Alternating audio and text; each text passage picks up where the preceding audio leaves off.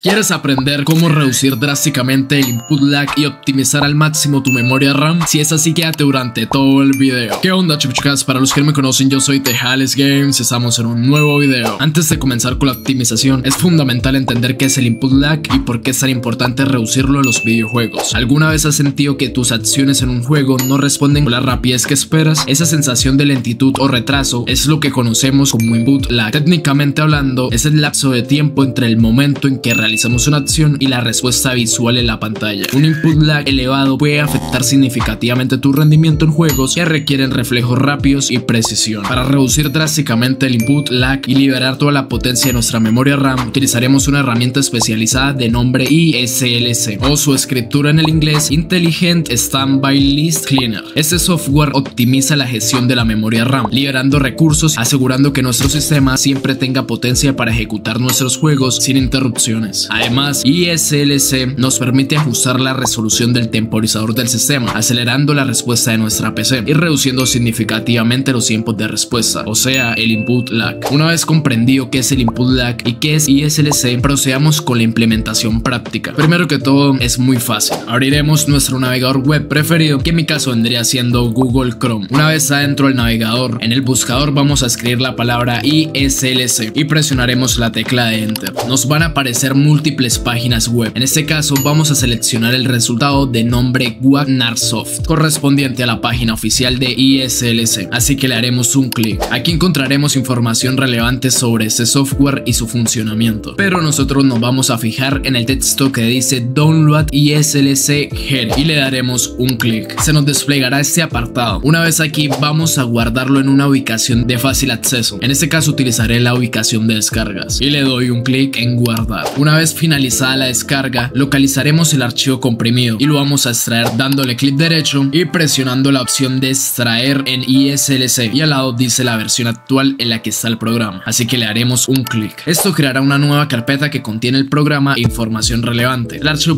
.exe ya lo podemos eliminar. Procedemos a dar doble clic sobre la carpeta que nos creó con anterioridad y nuevamente otro doble clic sobre la carpeta que se encuentra adentro. Una vez adentro de la carpeta vamos a encontrar cuatro archivos. Localizaremos el archivo con extensión .exe, que la gran mayoría de casos es el primero. Le damos un clic derecho y un clic en ejecutar como administrador. Esto es crucial para que el programa pueda interactuar con los componentes del sistema operativo de manera adecuada. Una vez ejecutado ISLC, se nos presentará la interfaz principal del programa. Aquí encontraremos diversas opciones de configuración que nos permitirán optimizar el rendimiento de nuestro sistema. En la primera opción se presenta un desglose detallado del estado actual de la memoria RAM. Nosotros nos vamos a enfocar en el valor Standby List and System Working Set. Esto indica la cantidad de memoria RAM que el sistema ha reservado temporalmente para posibles futuras operaciones. Esta memoria, aunque asignada, no está en uso activo y puede ser liberada para mejorar el rendimiento. A continuación vamos a acceder al administrador de tareas de Windows para corroborar el impacto de ISLC en la disminución de la memoria RAM inactiva. Para ello es muy fácil, daremos clic derecho sobre la barra de tareas de Windows y un clic en administrador de tareas. En este caso nos vamos a enfocar en el apartado de rendimiento, así que le daremos un clic y nos vamos a centrar en la sección de memoria. Podemos observar las estadísticas de memoria en tiempo real. En particular nos interesa el apartado de memoria en caché. Dejamos el administrador de tareas por un lado y volvemos al software de ISLC y vamos a presionar el botón de Purge Standby List y podemos observar cómo la memoria en caché disminuyó drásticamente llegando al punto de estar en cero. Al presionar este botón se envía una señal al sistema operativo para liberar la memoria RAM inactiva. Esto permite que las aplicaciones tengan acceso a más recursos mejorando el rendimiento general, especialmente en tareas intensivas como los videojuegos. Ahora, en esta sección vamos a configurar ISLC para que se encargue de liberar memoria RAM de forma automática, sin que tengamos que hacerlo manualmente. Esto es muy útil para mantener nuestro equipo funcionando de manera óptima. Para configurarlo de manera adecuada, vamos a ajustar dos valores muy importantes. La primera opción de Light Size is at least. Este valor indica el tamaño mínimo en megabytes que debe tener la lista de espera de la memoria RAM para que ISLC se active y comience a liberar memoria. Y por el otro lado tenemos el Free Memory. Este valor establece el límite inferior de memoria libre en megabytes que debe tener nuestro sistema. Si la memoria disponible baja de este límite, ISLC también se activará para liberar más memoria. Entonces ustedes se estarán preguntando, ¿qué valores tenemos de colocar en estos campos? Verdaderamente la elección de estos valores dependerá más que todo de la RAM que tengan en su equipo y de cómo quieran que se comporte ISLC. Si tienen mucha memoria RAM, pueden establecer valores valores más altos para ambos parámetros. Eso significa que ISLC se activará menos frecuente ya que habrá más memoria disponible. Y si tienen poca memoria RAM, es recomendable establecer valores más bajos. De esta manera, ISLC se activará con más frecuencia para liberar memoria y evitar que el sistema se ralentice. Gente, les voy a dar un consejo muy importante. Comiencen con valores moderados, como 1024 megabytes, que corresponde a una giga, para ambos parámetros. Y vamos a observar cómo se comporta nuestro sistema. Si experimentamos problemas de rendimiento,